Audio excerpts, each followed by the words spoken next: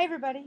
So I just wanted to make a video. I haven't been on lately. We've just been super crazy busy getting things set up with school and work and dogs and cats and everything else.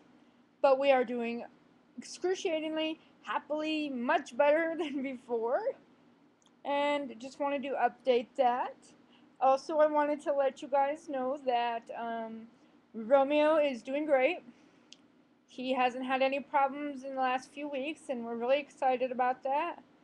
Blackhawk's doing well also, and I'm hoping that everything keeps going great. You'll have to forgive me, my eye is driving me crazy, so I may scratch it every now and then. But, other than that, we're doing great. I probably sound a little funny. I'm getting over or through a cold type thing that is just attacking my sinuses like you wouldn't believe. But other than that, things are going great. Chris is working and he really, really enjoys his job, and we are just so happy that things are going much, much, much better than before. Now, the main reason for my video today is because I wanted to talk to you about Daisy.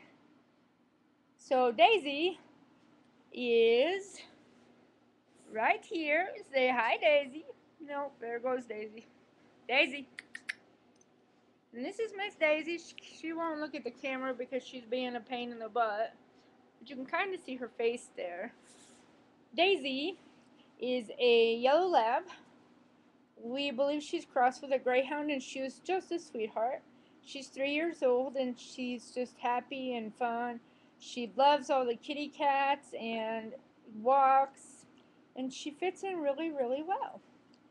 So, needless to say, I hope everybody's doing well, and I will film more later as I can. Tomorrow is a holiday around here, um, Black Friday. Why I say Black Friday? Because I'm retarded. Oi! Palm Sunday is coming up, or Easter for those of you that are following the English holiday traditional calendars.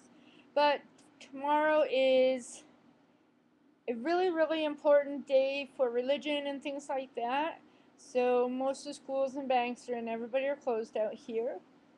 But we are able to visit friends and family and go to Walmart, the park. There's a carnival thing in town, and it's just been a lot of fun. Hopefully, we'll do that and check some of that stuff out. And as I said earlier, wish everyone the best, and I hope you have a great weekend. Talk to you again. Bye.